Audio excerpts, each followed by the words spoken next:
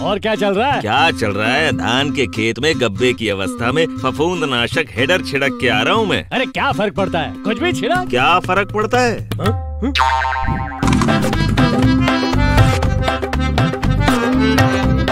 जब कामयाबी का चुनाव नहीं करोगे तो प्रभाव ज़िंदगी पर पड़ता है।